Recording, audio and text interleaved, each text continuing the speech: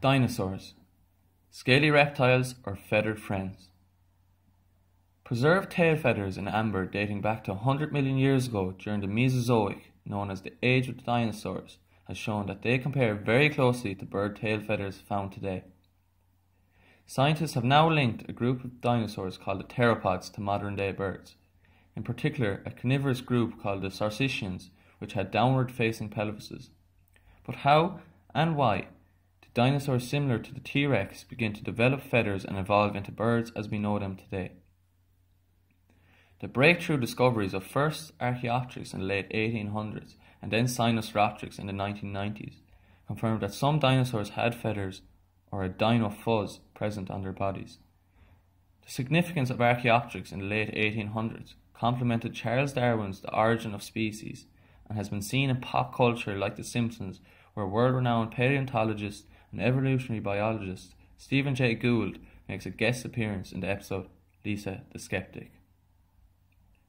Initially, it is believed that these feathers developed for insulation, then eventually evolved for flight but it is also thought that they may have had uses for camouflage and sexual selection.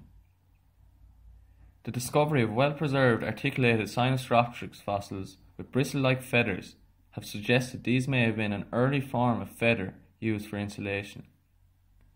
Nearly all of these Sinosauropteryx fossils were found in the Yixian Formation in northern China and dated back to the Aptian in the early Cretaceous 125 million years ago.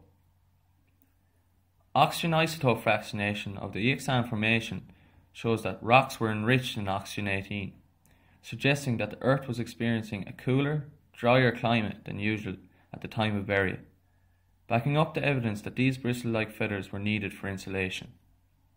The discovery of melanosomes, a pigmentation within the feathers used to help absorb heat, was confirmation for many scientists that these bristle structures were early forms of feathers primarily for insulation. Patterns in these bristles from melanosomes have emerged and have spurred the idea of selection and camouflage. The discovery of Archaeopteryx in Solnhofen, Germany in 1861 remains one of the most important dinosaur fossil discoveries to date.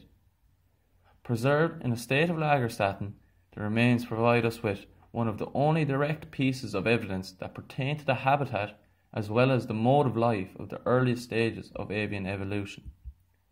It is believed that the feathers of Archaeopteryx were not initially designed for full flight, but more so developed as a means of regulating body heat.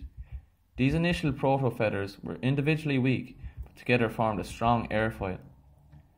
Archaeopteryx also showed signs of limbs designed for flight too, although it is believed that it may have been more of a glider rather than a sustained flyer due to the presence of its long heavy tail and carnivorous teeth. However, the specimen did have hollow bones, and feathers developed for lift. One study used X-rays to examine the narrowest parts of the wing bones to calculate what sort of torsional resistance these bones would have had. Torsional force is the force used when wringing a towel, and is similar to the force exerted on birds' wings during flight. This force was compared to 55 modern birds, two crocodilians, and two species of pterosaurs. The best match was with some of the modern day birds that fly via short bursts or glide, such as quails and pheasants. Dimorphism is believed to have existed in a world where the females chase tails and not the males. The Saurischia theropods are one of the main dinosaur species with a good number of studies supporting this dimorphism and sexual selection theory. The study of oviraptor fossils in Mongolia showed that males had larger blade like bones which jut down from the vertebrae near the base of the tail and provide attachment for muscles and tendons to anchor the muscles that control their flexible feathered tipped tails. It is suspected male oviraptors shook their tail feathers in intricate displays to woo potential mates, similar to peacocks today.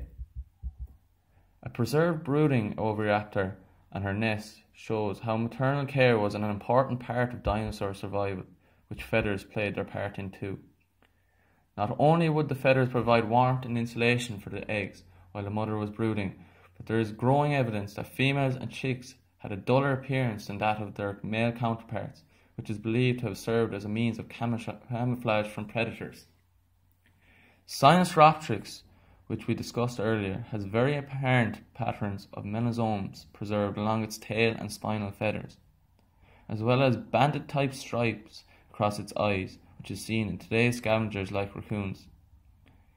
This counter shaded pattern with a dark back and pale belly is a technique shown in modern animals, usually in large flat habitats such as savannas, to make their body appear flatter to the ground.